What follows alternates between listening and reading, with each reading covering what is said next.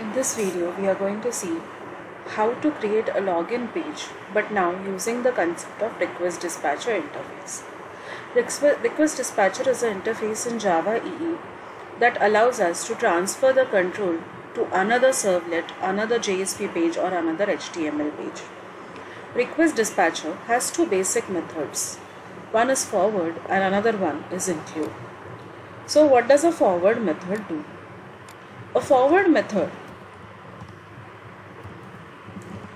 will typically hand over the control to another page.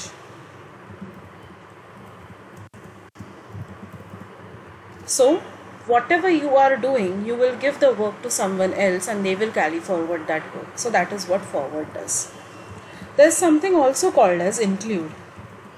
Include method includes the response of the second page to the first page. It will include the response of second page to first page.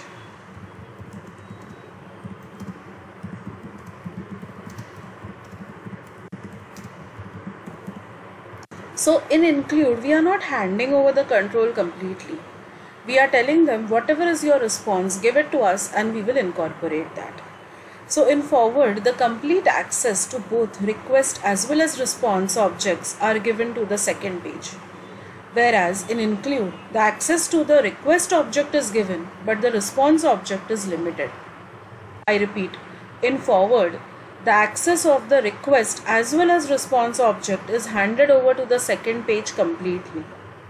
Whereas in include, the access of the request object is completely given, but the access to the response object is limitedly given to the second page. But whatever is the response of the second page that is incorporated or included into the first page. Now, if you read both these questions, you will just understand that apart from the password, there is nothing different in the questions. The questions are quite similar to one another. So, we will start with this particular practical. As usual, we will create a new project. So, file, new project, Java Web, Web Application, and next. I am giving the name as RD Demo. That is request dispatcher demo. Next glassfish server. It is selected no need to do anything.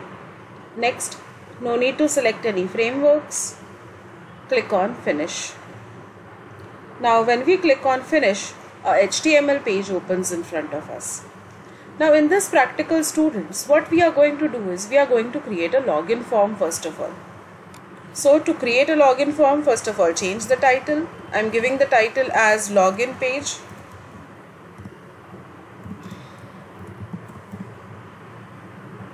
And then I'm creating a form. Now how to create a form? I think so everyone is well versed by now. Action is equal to login servlet. That will be the name of my file. now I'm creating a login form so enter username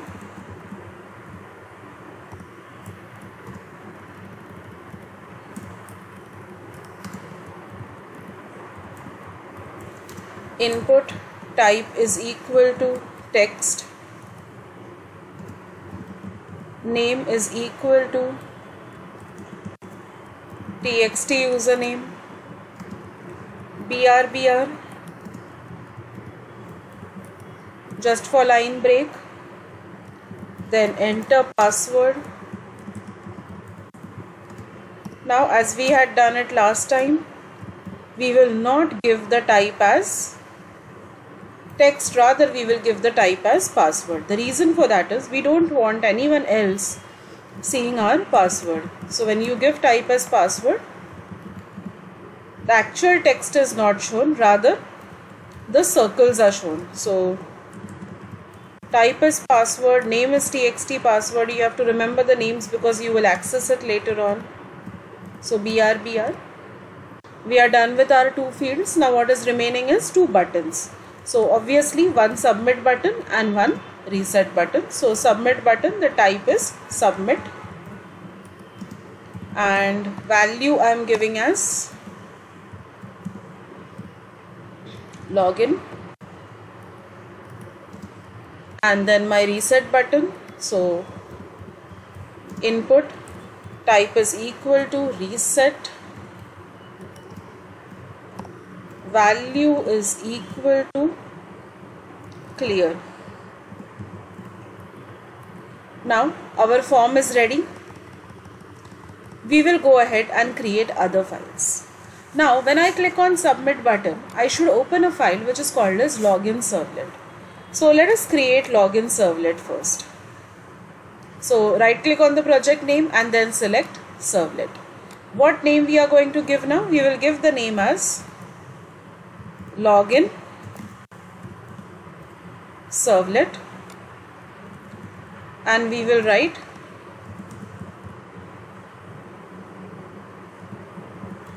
demo SRD that is servlet request dispatcher okay? Don't forget to click on this text box to add information to the deployment descriptor and then click on finish. So now our servlet is ready. What we will do in this is we will first clear out all the unnecessary comments.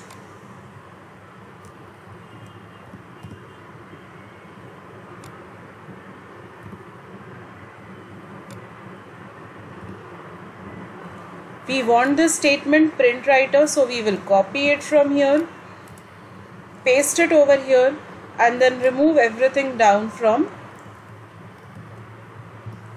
try. This is extra remove it. Change this to service method.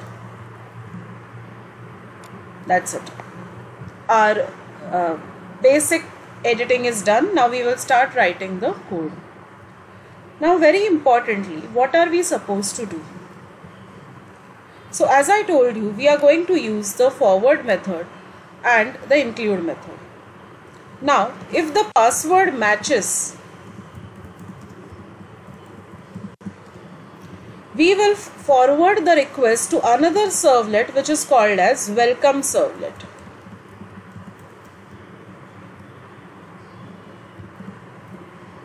And if the password does not match,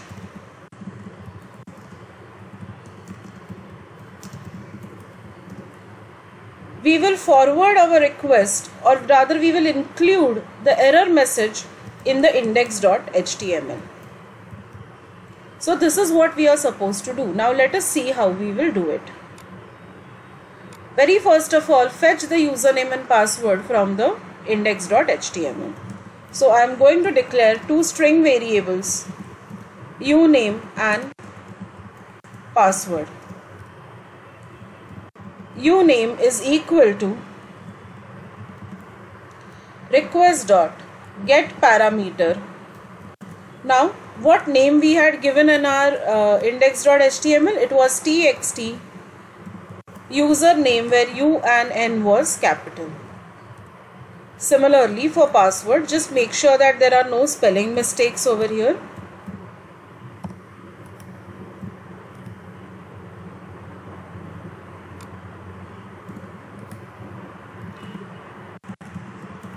Then password is equal to request dot get parameter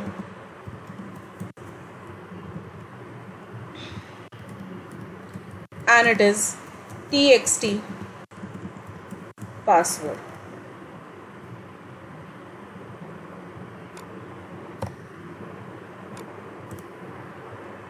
Now once this is there, we will compare our password because we are not comparing the username as of now. We are just comparing the password.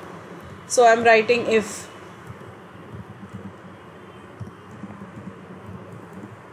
password dot equals servlet. Depending on your question you will write the password. If your question is this you will write the password as admin. Otherwise here in the first question you will write the password as servlet. So depending on the question you will change your value over here. Now if the password is servlet what am i supposed to do i'm supposed to forward the request to another page which is called as welcome servlet. How can I forward the request to another page? Using request dispatcher. So let us first create the object of the request dispatcher. So how to create the object of request dispatcher? We will write R-E-Q-U-E-S-T request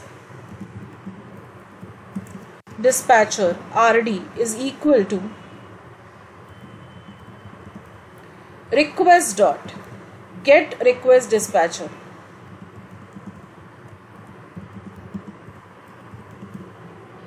and in that we have to give the path of the file.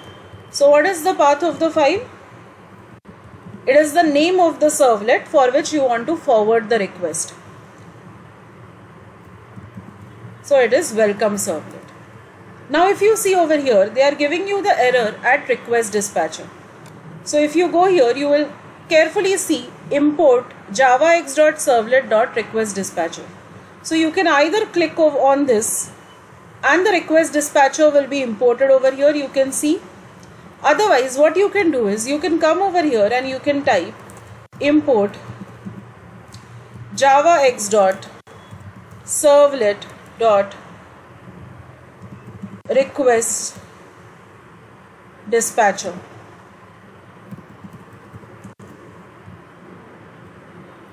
okay so you can either use the help from NetBeans or you can go ahead and you can type it on your own. But it is extremely important to import this particular section whenever you are working with request dispatcher. Now, we have a method of request dispatcher as forward.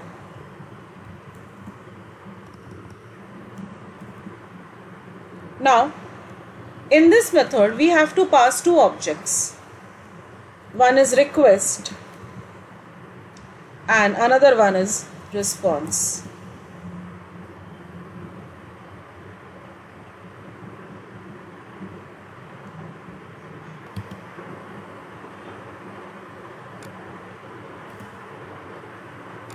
Now the request will be forwarded to the welcome servlet along with the re request and response objects.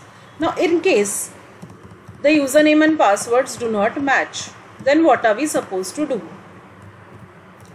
We are supposed to include the error message. We are supposed to include the error message. So again here I am creating the object of request dispatcher.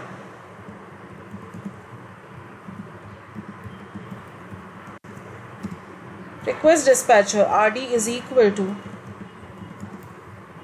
request dot get request dispatcher.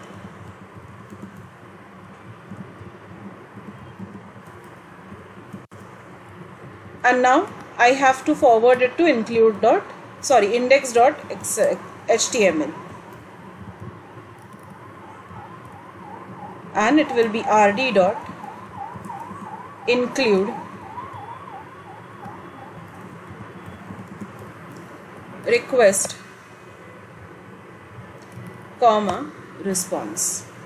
But now what response do I want to include in index.html? So I have to write out that response. So it will be out dot println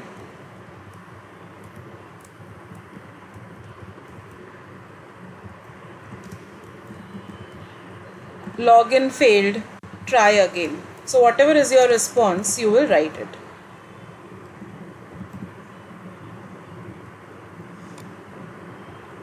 Now, this is this practical is done partially. I still have to create a welcome servlet. So what do I do for welcome servlet? I create another servlet. So right click on the project, new servlet and here I will give the name exactly as I have given in the get request dispatcher method that is welcome servlet. You can select your earlier package only no need to select a completely new package. Next. Add information to deployment descriptor. And then finish. Here also you will do exactly the same thing. You will clear out all the comments which are there. Change the process request method to the service method and then only proceed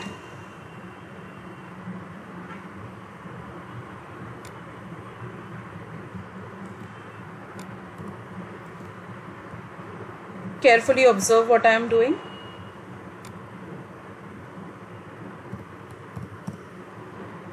Now I will write the message.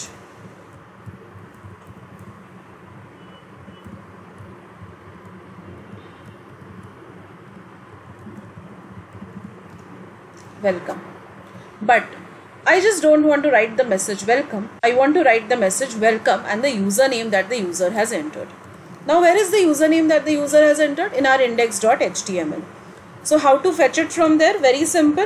First of all declare a string variable called as uname as we already always do. Then uname equal to request dot get parameter and name of the parameter will be provided. What is the name of our parameter? It is txt user name.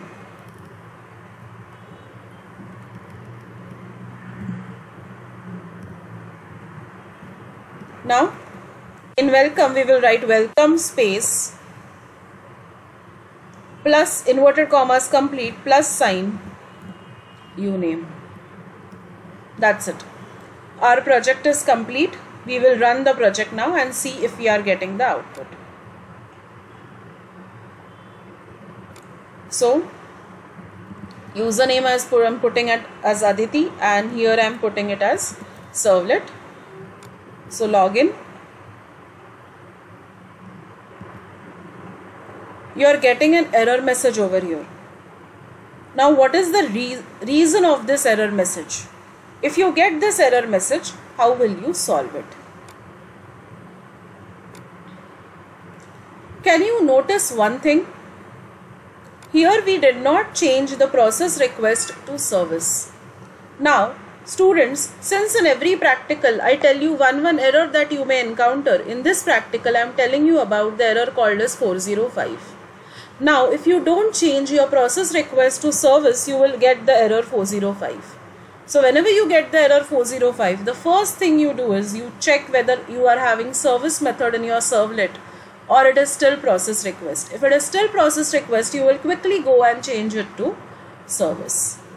So we will run the code again and see if we have done it correctly. So again username I am entering as Aditi, password I am entering as servlet and I'm saying login. Did you observe how the error got solved very quickly? Now, I'm trying to give some different password which is not servlet. It is showing me my index.html page again and it is telling me login failed, try again. So this is the practical of request dispatcher.